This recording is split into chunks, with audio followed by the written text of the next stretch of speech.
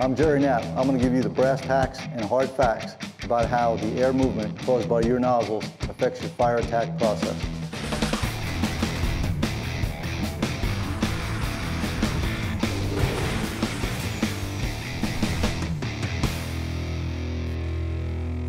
Air movement caused by air entrained by our fire streams during an interior fire attack is an important but often overlooked part of a successful fire extinguishment operation.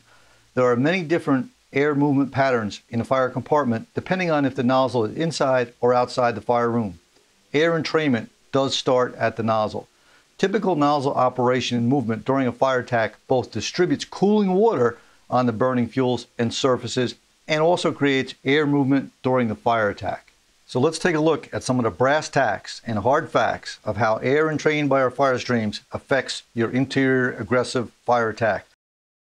We use mason twine and survey tape to indicate gross direction of airflow and relative intensity. Although the water droplets from the hose stream hit the twine and streamers and disrupt their accuracy, they can be used to understand the basics of very complex air movement inside the fire room. As this video shows, a solid or a straight stream off a combination nozzle moves very little air if the nozzle is held in a fixed position. But in a real fire attack, we must move the nozzle to distribute the water onto the burning surfaces. Movement of the nozzle, as we have been taught in an O, N, or Z direction, causes air movement into and out of the fire area and around the area of the nozzle and the hose stream. This has a potential to stir up the environment as the water is cooling both the surfaces and the burning fuel in the room. This is demonstrated by the wind streamers moving back towards the nozzle team. Obviously, if this is a small room in a house with limited fuel, the water from the stream overwhelms the fire quickly and the result is usually a successful fire attack. If this is a more fair firefight other than a residential occupancy, these chaotic and violent air currents of heated, moist air and steam may cause our aggressive push to be halted while the fire continues to spread into unburned areas. You can see the wind streamers are being directed back toward the nozzle team. That little drop of water may have been heated or turned to steam and may be heading your way. In contrast, a fog stream entrains massive amounts of air.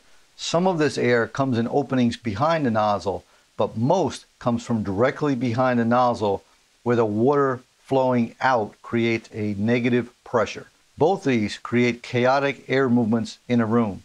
Consider that this fog stream is pushing around 10,000 cubic feet of air per minute. We used to say if you pointed that fog stream toward an opening, the fog would drive all the products of combustion out. As evidenced here, we know that's not true. Let's take a typical room in a house, 12 foot by 16 foot by 8 foot high. It contains 1,536 cubic feet. If our solid or straight stream is moving 7,000 cubic feet of air per minute, it will cause air currents similar to those shown here. Your solid or straight stream operated in an O, N, or Z pattern has the energy to move the entire volume of air in that room and the heat and products of combustion it contains in 15 to 20 seconds.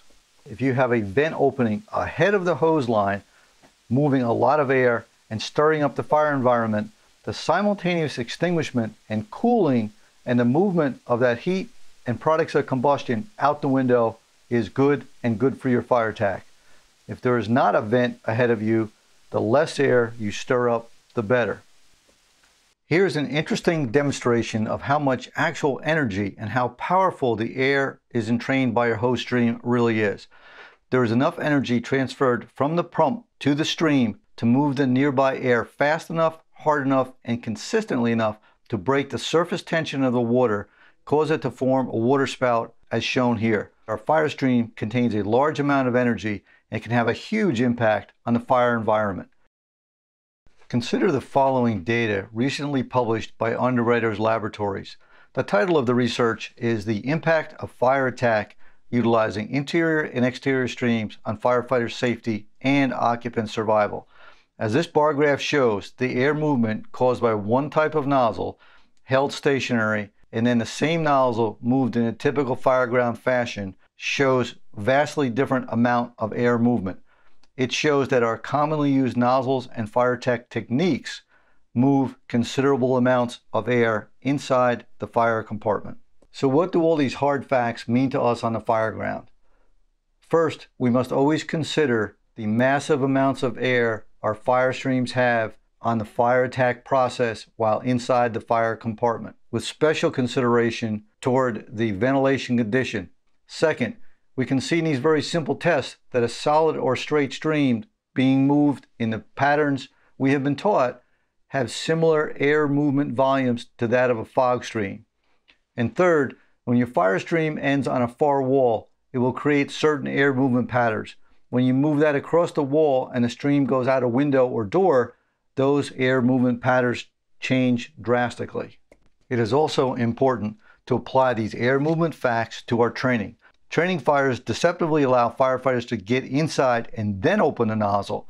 Opening the nozzle deep inside the fire compartment in a real fire may produce really bad results. Consider using the reach of the hose stream to cool the room, knock down the fire, and prohibit full room involvement. Consider also revising your training based on these facts. Air entrainment by hose streams and air movement inside a fire compartment, as we have seen, is not simple. There are many variables that make air movement during a fire attack very complicated. Understanding these will help keep you safe on the fire ground.